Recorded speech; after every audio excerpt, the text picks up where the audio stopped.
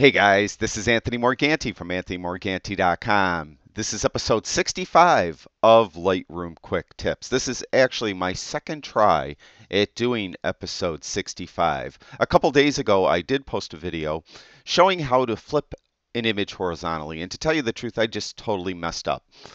I showed you a way to do it, which wasn't the best way to do it, and it also did some weird things to your library when you did it. The way I showed is you would take an image that you want to flip horizontally, you would go to the library module and you would go to view and you would go down to enable mirror image mode. And as you can see, it does a nice job of flipping your image.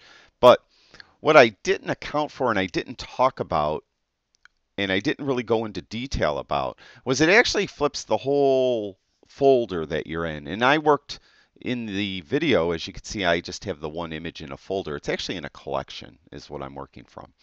So the reason why you might want to do that is if you shot a, you did a photo shoot and you shot them all, let's say left-handed. I call it left-handed. That's where your subject's on the left and your open space is to the right. And you have a, a client that needs some right-handed images, then you could just flip the entire folder using it that way.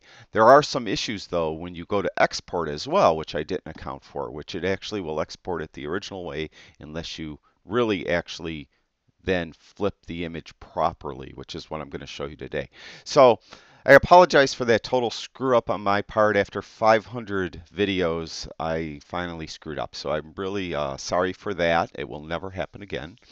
And what we're going to do is we're just going to uh, go back uh, to the original image. And if you really, truly want to flip the image and the image only, not all the images in the folder, and you would be able to export it fine. So if you want to get a mirror image of the uh, picture that you have selected, all you have to do is be in the develop module and you would go to photo and you'd go down to flip horizontal.